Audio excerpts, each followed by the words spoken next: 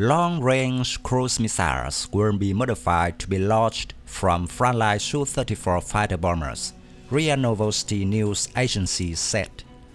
According to RIA Novosti sources, this long-range cruise missile is not new, but has never been deployed on the Su-34 before, and this solution will increase diversity in combat situations.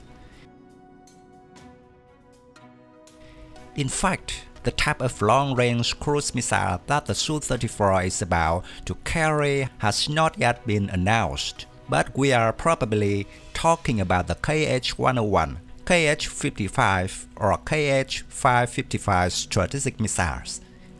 Usually, Tu-160 and Tu-95 MS strategic bombers are used for launches.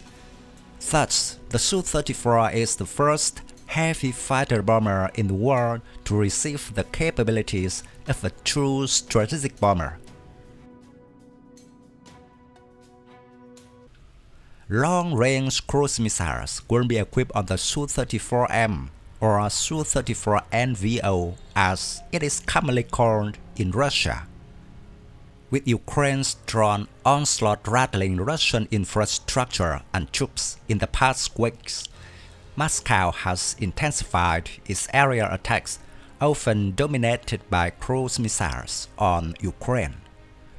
The Su-34 fullback is a twin-engine, twin-seat, all-weather supersonic medium-range fighter bomber deployed extensively by the Russian aerospace forces to carry out air-to-ground strikes and bombing runs on Ukrainian forces fully aware of the aircraft's utility, the Russian aerospace forces has now started to arm it with the most lethal munitions available in its inventory. The Su-34 is certainly a unique aircraft.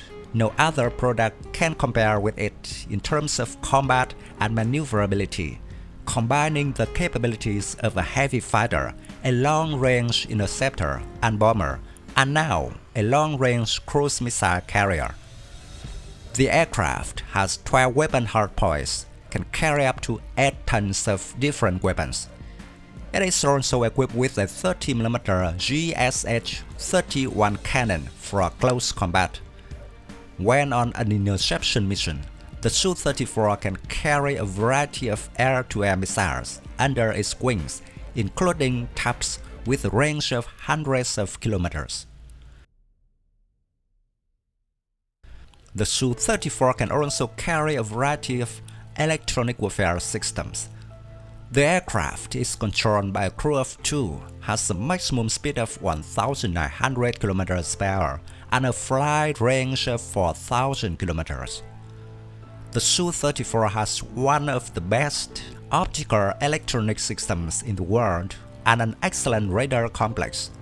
And now about long-range cruise missiles.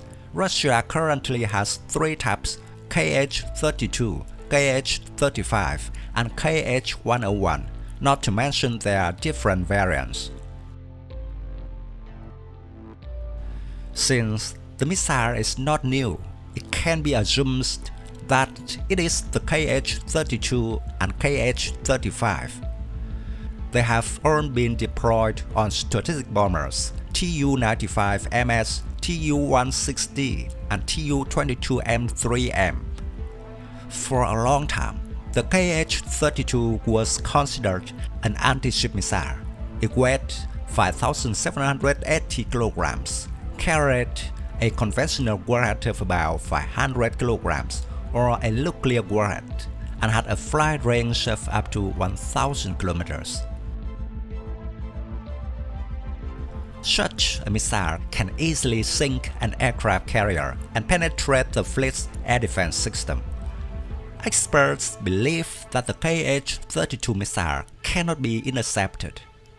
After separating from the launcher, the KH-32 sharply increased its altitude to 40 kilometers and flew towards the target at a speed of 5,000 kilometers per hour.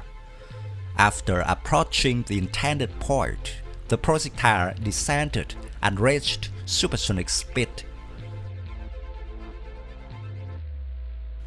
Meanwhile, the KH-55 is a small subsonic strategic missile that flies along the terrain at low altitude, designed to be used against important strategic ground targets of the enemy at low altitudes. The KH-55 speed varies from 720 to 830 km per hour with a range of 2,500 km.